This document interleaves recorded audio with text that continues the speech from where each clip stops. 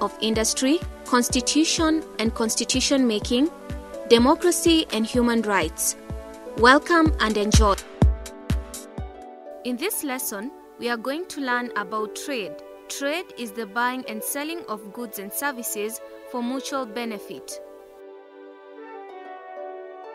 There are three types of trade, namely local, regional, and international. Local trade is the exchange of goods among people within the same geographical area.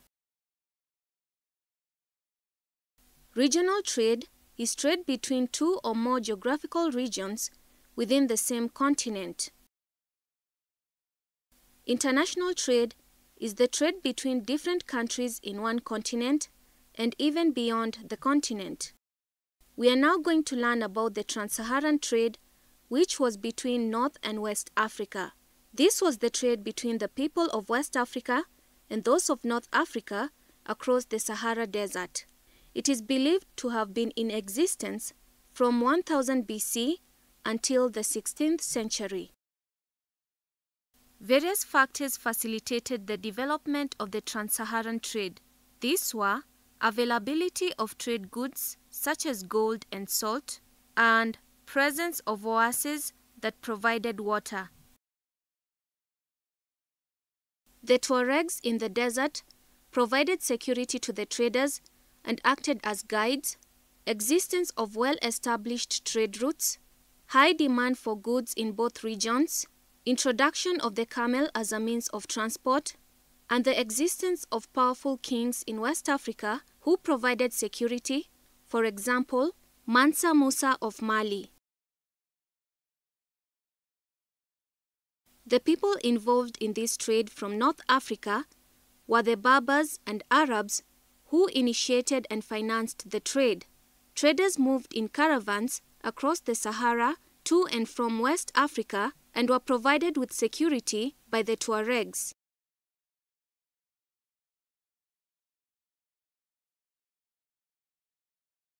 The goods from North Africa included salt, iron tools, weapons, silk, beads, horses, and cowrie shells. The most important commodity from the north was salt, while those from West Africa were gold, slaves, ivory, gum, kola nuts, hides and skins, and ostrich feathers.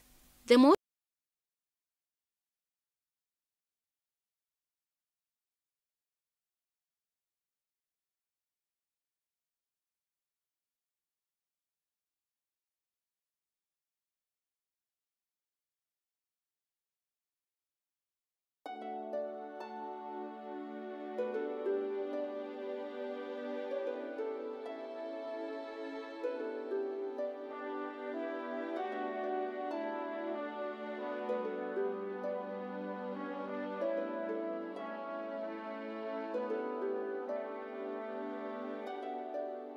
There were three major routes namely Western, Central and Eastern. The map provided shows these trade routes.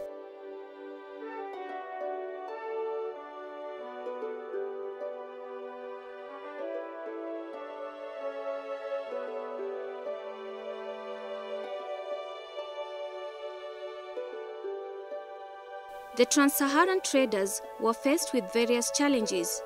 They included long and tiring journey in the desert, scarcity of resources, and extreme weather conditions.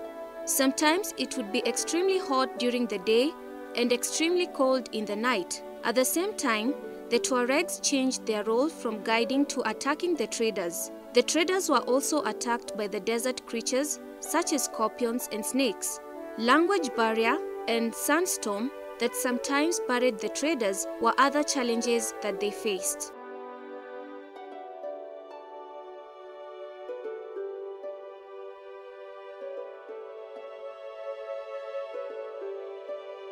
The trans-Saharan trade affected the people of West Africa in many ways.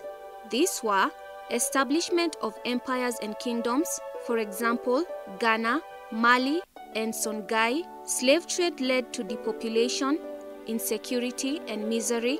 Development of urban centers such as Gao, Kano, Jenne, Walata, and Timbuktu, intermarriage between the people from the north and those from the West Africa, and spread of Islam and erosion of pre existing culture.